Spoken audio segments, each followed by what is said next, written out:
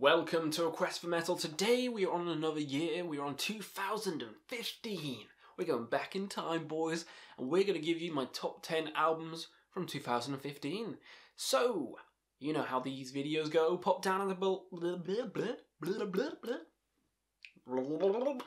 You know how these things go. Pop down below in the comments below. I'm fucking it up again. So, put the albums down below in the comment box. Your favourites of 2015. that wasn't so hard, was it, Questy? So, yeah, put your favourites down below and let's get stuck in before I just keep going on repeat and fucking my words up. So, let's get started with the number 10. Now, the number 10 is a band called Cattle Decapitation with the bat with the album The Anthropocene Extinction. Holy shit.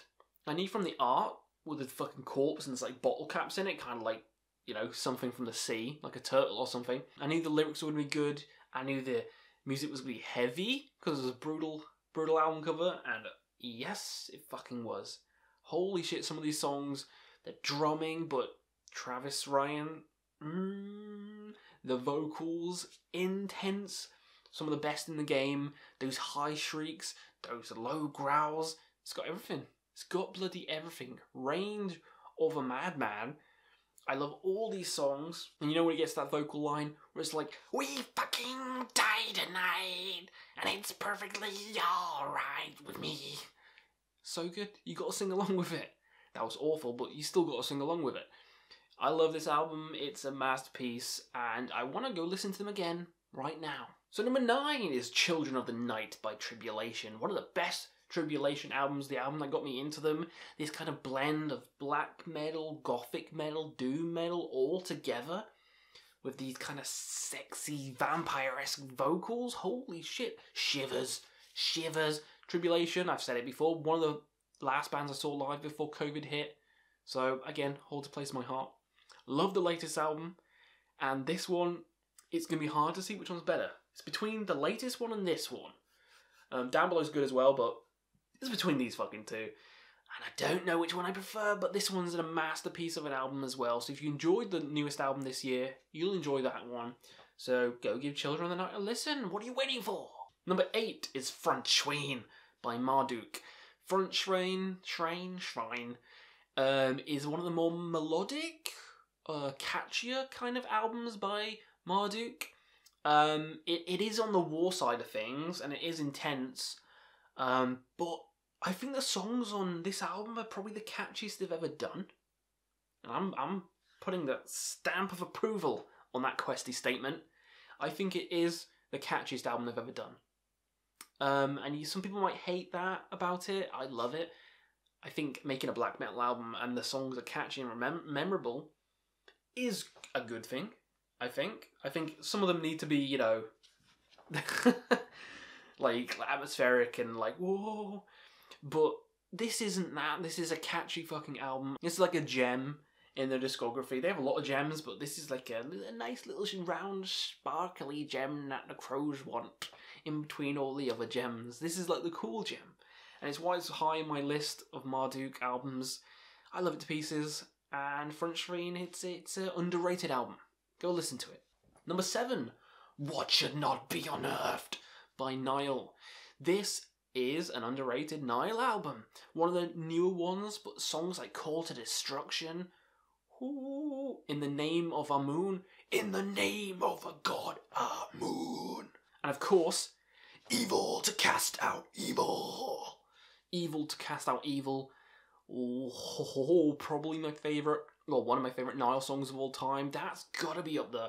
This is intense album. The production is amazing, amazing production. What can I say? I, I love all the songs in this album. I think it's a masterpiece, and Nile can do no wrong. So, what should not be unearthed?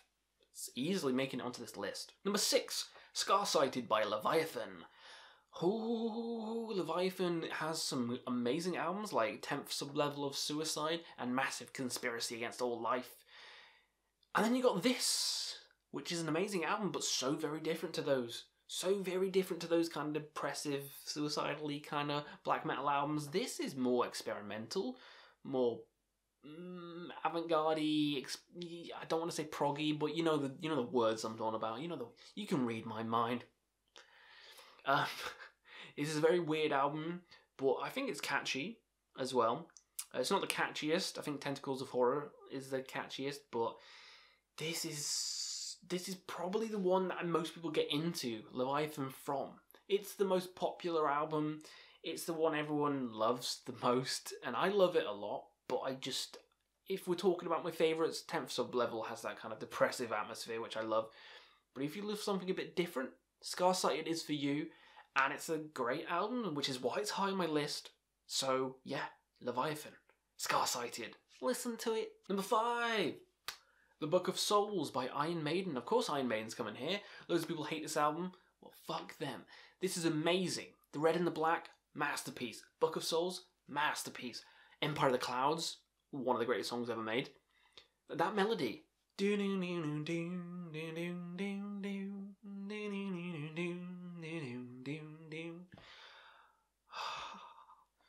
Come worthy. Come worthy yeah, I, I love the long songs in this album. I think they're masterpieces. Um, and you got some really cool short songs as well. If Eternity Should Fail, come on. Come on. Yeah, um, what, what more can I say? This album's flawless. It's fantastic. It's better than Final Frontier. Um, way better. I, what, what can I say? It's Iron Maiden. It's got to be here. It's fucking Iron Maiden. So it, it is coming here. Before Exercises in Futility by Mgła. Mgła. It just reminds me of Morrowind, the Guars. So whenever I see a Guar in Morrowind, I'm just like, Magua! That's Magua! Don't run the joke into the ground. This Polish black metal band is is catchy as fuck. This is on the catchy side of black metal. The riffs get stuck in your head. It's more accessible. This is probably a good album and band for people who aren't into black metal to get into them by. This is a good starting point. Fast, furious riffs intense vocals, catches all fuck still. Good representation of black metal as a whole. It's Mgła, Exercising in Futility. It's amazing. I love the album art. The guy's like, ah. it's amazing. That's what you'll be like because you want more. Number three, Absolution by Khemmis. Now we're on to some Doom, Epic Doom, Traditional Doom. I think it's Traditional Doom because Epic would be the soaring vocals, and this doesn't quite have that, but it's still Doom, and Doom makes me cool. Khemmis, one of my favourite bands of all time. This kind of slow but chunky heavy metal slash doomy music, which we all know and love.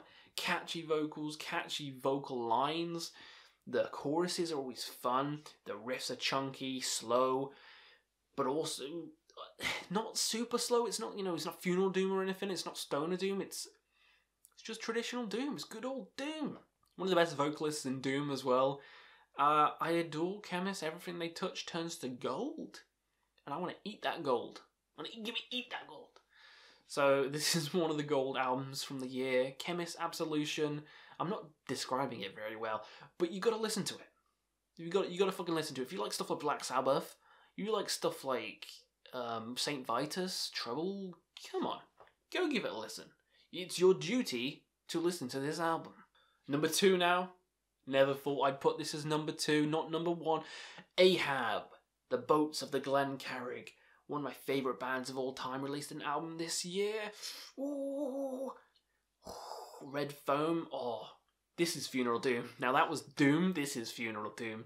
But of the nautical variety, you're under the sea, you're seeing some crazy weird fish stuff. Oh, it's great. This is great. This is it's one of my favourite bands of all time.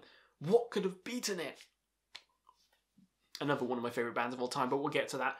This, long passages, hypnotic melodies, great, gravelly, gruff voice, which blends into the background, which uh, makes it so atmospheric. It's one of the most atmospheric albums of the year. I love it. It's a 10 out of 10. It's a masterpiece album.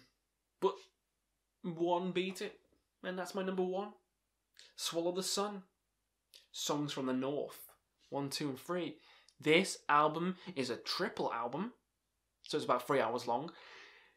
The first album is typical Swallow the Sun Death Doom magic. The second album is this kind of more acousticy, not heavy uh, kind of songs, but still mellow, still melancholic, still beautiful.